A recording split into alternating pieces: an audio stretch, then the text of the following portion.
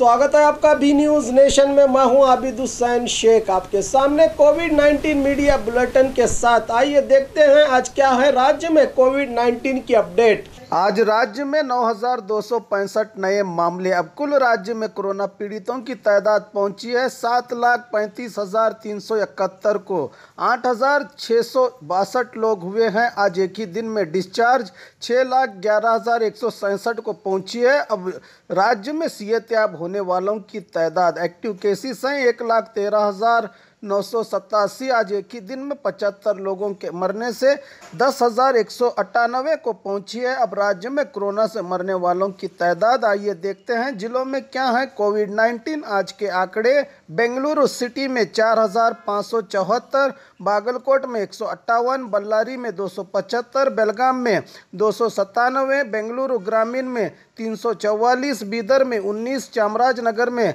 सत्तानवे, चिकबल्लापुर में एक सौ सैंतीस, चिकमंगलुरु में सत्तानवे, चित्रदुर्ग में एक सौ बासठ, दक्षिण कन्नड़ में दो सौ बयानवे, दावनगिरे में बयासी, धारवाड़ में एक सौ छत्तीस, गदग में इकतालीस, हासन में दो सौ सत्ताईस, हावेरी में छसठ, गुलबर्गा में उनतालीस, कोडगू में 160 कोलार में तिरानवे कोप्पड़ में 60 मंडिया में 212 मैसूरू में 641 रायचूरू में चौवालीस, रामनगर में बयालीस, शिमुगा में तिरासी, तुमकुरु में तीन सौ इकतालीस उड़पी में एक सौ निन्यानवे, उत्तर कन्नड़ में एक सौ बयानवे, बीजापुर में एक सौ अट्ठाईस, यादगीर में सत्ताईस, कोरोना के पॉजिटिव मामले आज राज्य में सामने आए हैं। बात बीजापुर की आज 128 नए मामले। अब कुल ज़िले में कोरोना पीड़ितों की तादाद पहुँची है 11,240 को। आज 135 लोगों को डिस्चार्ज किया गया है जिससे दस को पहुँची है। अब ज़िले में सेहतियाब होने वालों की तादाद आठ सौ तिरानबे लोगों का इलाज चल रहा है। आज दो के मरने से एक